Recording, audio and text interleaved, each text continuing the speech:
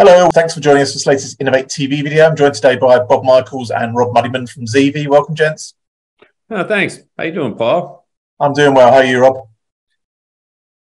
Excellent. So, excellent. Good afternoon, Paul. So you got you got a Bob and a Rob. I have got a Bob and a Rob. That's wonderful. You. Um, you guys have obviously been really active in the sort of AV over IP area um, for, for years now. Really, one of the first, I think. Um, and it's obviously a huge talking area that we talk about, huge growth area. Um, you know, you guys were one of the first to introduce it several years ago. What do you think has changed on the landscape of AV over IP over the past few years? Maybe Bob, you answer that first.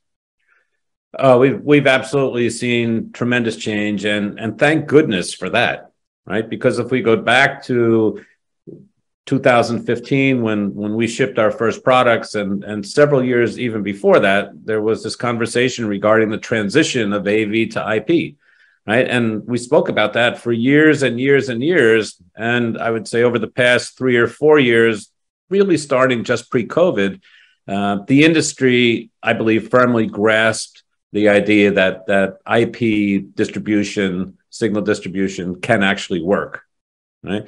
And I think this was the result of educational efforts on a lot of people's behalf, right? We spent years trying to educate people uh, in the marketplace. The integrators also took the challenge because in many cases they didn't have the staff that was IP centric, right? They were AV centric. So they had to educate themselves uh, as well. And so we have seen the change there because people finally accepted and the driver there was the fact that it works. Okay, so the the the proof was in the pudding per se, mm-hmm. right? They've they've seen installations, small installations, only you know three, four, five endpoints, up to endpoint up, up to applications with with over a thousand endpoints. You know? and it works, and it works simply. And so, you know, as as one of our founders says, the the Ethernet beats nothing. No, yeah. sorry, Paul. It nothing seems beats, nothing beats Ethernet. It, it, seems crazy to be talking so uh, openly about things that work, but I mean, you're an integrator. That's what you want every day, don't you? You don't want problems. You want things to work as they say they should. Say they do. Say they should. you just want to, if you remember you know, going finish. back to the analog to digital transition, remember when we went to digital switches and Valens came along and a number of companies came along to to to enable that to happen with digital switches. It didn't happen smoothly overnight. It took several years for them to get that technology correct, and that was with the old proprietary matrix switches. I think with AV over IP, it's happened a lot quicker actually. Yeah, I mean the the growth of AV over IP has allowed kind of standard uh, infrastructure to be used in a lot of cases, and you know. As a magazine, we've always been pushing standardization. It's a great thing. Integrators have wanted that for years. But with standardization, obviously means there's a, huge pool of vendors and technologies that are all vying for the same slice of action. What does that actually mean for end users? Maybe Rob, you answer that first. Yeah, so so normally choice is a good thing, right? You've got a lot of choice, uh, you've got options, and you can choose the best technology. But also, I think what's happened is people did get confused because, as Bob said, seven years ago we introduced uh, our first AV over IP, which is uncompressed. There were companies before us that uh, had solutions, but they were all compressed.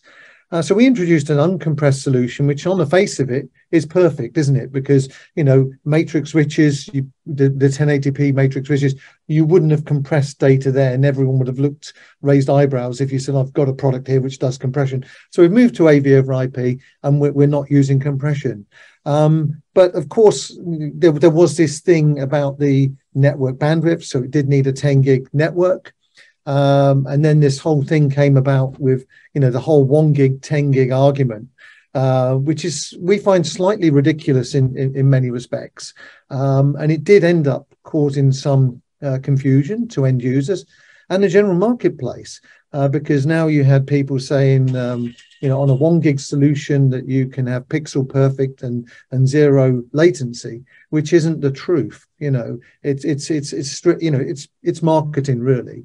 Um, so with ZeeVee's approach, what, what we what we've been doing is we've been producing products which uh, meet applications and the needs of, of the market. So we look at what the application is, we look at what the network is. If they're putting it on an existing network and it's one gig, then there's no choice. It's got to be a compressed compressed solution, and of course the budget.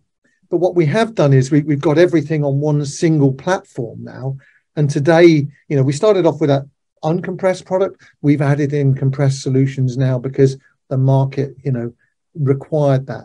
And, and for different applications, we've got different products, as simple as that.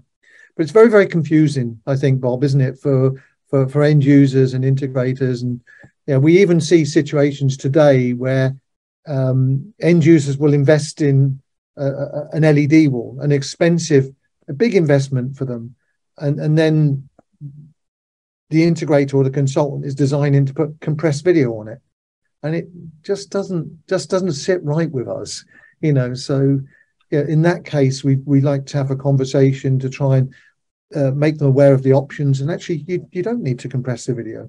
You, know, sure. you could put perfect video onto that LED wall and, and get the best out of it.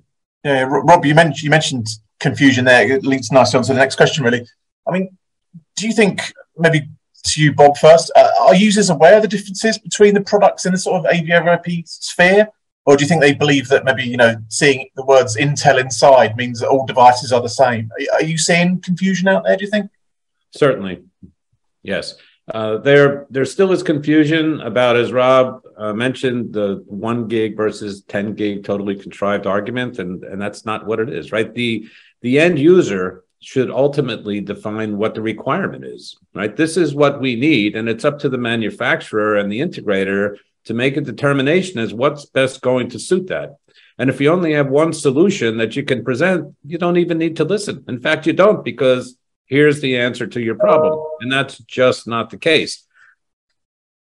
But, but specifically to your point, say, for example, on SDVOE, you know, all SDVOE devices are, are not made the same, right? They can interact, they can interact to the lowest common denominator of, of, of what that one particular product is capable of, okay? But they are certainly, they are certainly different. For example, many customers, many providers of SDVOE technology have, you know, two models, okay, an HDMI in and HDMI out.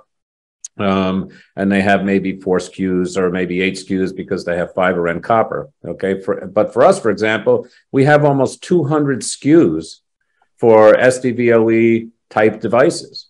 We have every input that you can think of. We have every output that you can think of. Right. We have medically approved devices. We have fiber. We have copper. And so they certainly aren't the same as uh, as perhaps a a product that is just simply ODM from a you know from an overseas manufacturer. You can't have that knowledge. And for us, one of the tremendous strengths that we bring to customers in the marketplace is our practical experience with the product, and that is a differentiator, right? Uh, you know, many people still think that if they buy a laptop and it says Intel inside and one is $500 and another one is $2,500, you know, that's not the same. It's certainly not going to be the same, right? So, so why would you think that just because it has a particular chipset inside a product that it's going to perform to the same level of capability, right? This is where education comes in. This is mm-hmm. where we try to uh, continue to educate the market. Yeah, I mean, it sounds like uh, AVIP is a sort of ever moving target. So it's great to, to get an update from guys like yourselves who are right in the middle of that kind of um, that, that battle, if you call it that, at the moment. Um, Rob and Bob, um, many thanks for your time and been lovely to talk to you. Okay, thank you, Paul. Thank you. Thanks, Paul.